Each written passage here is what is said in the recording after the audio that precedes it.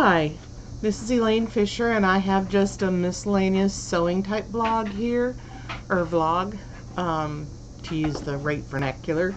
Uh, I'm going to show you a little pouch that I made, some fabric that I bought at the thrift store, and some fabric that I have that I'm going to make into a skirt for my daughter-in-law for Comic-Con. So let's start with the pouch. We, uh, my husband and I are starting to use the envelope system of um, of taking care of expenses.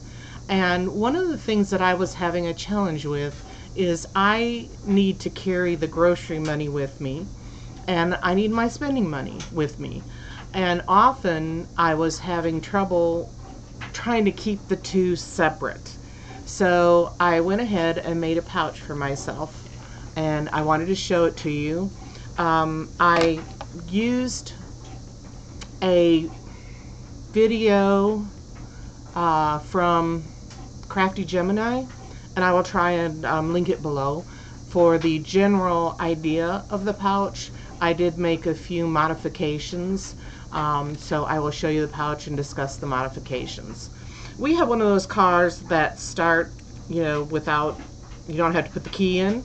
So I just went ahead and hooked that onto my wrist strap. Now, the pouch that the uh, Crafty Gemini did did not include a wrist strap, but I like to um, just grab this out of my purse and put it on my wrist and go in shopping um, so that I don't lose it and I don't have to worry about if I walk away from my cart. So I went ahead and put the D-ring and the um, the uh, wrist strap on. Okay, so here what I did was I have this cutest frog material and I, I did make one mistake, but this guy I uh, raised the zipper a tad so that I could get his full body in. Um, and each one of the zippers is a different color. So this orange zipper is my spending money and I've got, this doesn't show the color really well, but it's more like an orange yellow. In fact, it looks pretty orange. Um, and so I, I remember that my zipper matches my lining and that's my spending money. Then I have this right here, and this is a yellow zipper, and again, colors just don't always come over, uh, through real well in the video.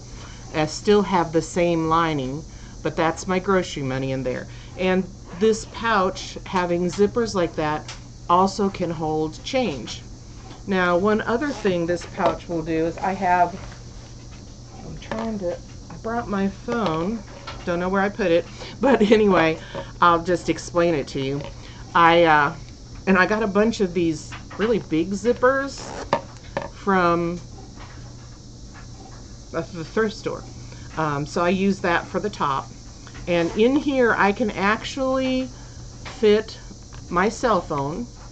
And then I have this little pouch that I did with my embroidery machine years ago. And it holds my um, my uh, discount cards and my debit cards and my insurance cards and all that I keep in here and that way they don't fly out when I'm putting my um, phone in or out. And we have like an entertainment budget so if I if I bring any other miscellaneous budget with me I will just put it the envelope in the middle here so it keeps it all separate. So this has been working really well for me. I will tell you the the one thing the machine I used, uh, I still have quite a bit of fatigue from um, the chemo, and I have a little Janome that I carry with me, like if I'm going somewhere to sew. And I actually had that in the living room and have used that to sew like chemo scarves and things for others.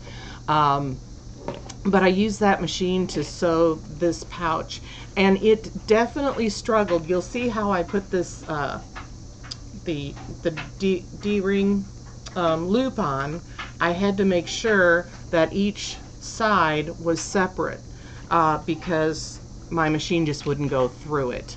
So I would suggest next time, and in fact, I'm going to have to do a repair because um, I sewed across here and the stitches have come out.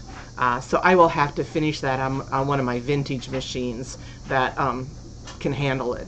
I I even tried a like a a size 16 needle, didn't work. I didn't have an 18 needle handy, but I, I don't think it would have mattered with this machine. Um, and generally, honestly, I don't. I try not to sew things um, this thick on a newer computerized machine because generally they can't handle it, and I don't want to ruin my machines because um, this has all the well, it doesn't have all the bells and whistles, but it has a speed control. You know, it has needle up and down and all that. It doesn't have. Uh, the one thing it doesn't have that I sort of miss is the cutting thing where it'll cut your threads for you. I have that on my bigger machine out in the shed. Um, the other thing that I have a little challenge with is I have a she shed that has gotten in terrible disarray and um, when I get enough energy I'm going to go in and clean that out and that's where uh, the vintage machine that I usually use lives in that she shed so um, anyway I just thought I'd show this to you. Oh, one other thing that I did differently, and I probably would consider doing it the way uh, Crafty Gemini did, but she put a couple of these um, tabs on the end of the zippers uh, before sewing it in here. And she also, um, I made this two inches uh, height wise less than she did. She did eight and a half by eight. I did eight and a half by six because I did not want it to be that big for a wristlet. Um, the other thing I would mention is my phone fits in here, but it, I would suggest measuring your phone and seeing if you need to make it a little wider. Uh, my phone just fits. Um, I, I actually wasn't making it for the phone, but when it was done, I was like, wow, will my phone fit too? And then I just bring everything because normally I'd like shove my phone in my pocket if I had one. Um, uh, some I wear jeans a lot, so I usually do, but it was not much nicer to have it in here. So that's number one. Second, I wanted to just share with you some fabrics I got at the local thrift store. Uh, these came from two different thrift stores this time. Um, one of the thrift stores I went to had uh, half price sale on their fabric. So this little Winnie the Pooh fabric here, which is just adorable. And we do a lot of pillowcases for um, people who are, are sick. So I'm thinking this will make wonderful pillowcases for youngsters who are sick. Uh, but it's got a lot of different Winnie the Pooh scenes and uh, it was 37 cents. I mean, you know, you gotta do it, right? The other thing I got at that thrift store, again, thinking of pillowcases, um, this one is going to take a little bit different measurement though because it's a very wide fabric, very wide. Um, I'm guessing, I'm guessing 108. But again, I think this one costs 50 cents and I think it'll make at least two, if not three pillowcases. Um, and I think it'll be just gorgeous. Uh, so I think, you know, uh, any woman who is not doing well and needs a pillowcase that's been prayed over for them, um, this would, would help. And in fact, I have my own pillowcase. Uh, they, the, one of the ladies in the group uh, embroiders the recipient's name on the pillowcase, which is really, really nice. And then they give them um, a Kleenex holder, which for me was just wonderful because since chemo, I have had a, a horrible runny nose. And I don't know if I've done it on this video, but you will probably see me do uh, what my husband and I call buddy nose, but I have a nose twitch. Um, and I went to the doctor and she saw me do it and she asked me if I if I knew I had a twitch. and I she said mouth twitch, but we considered a nose twitch.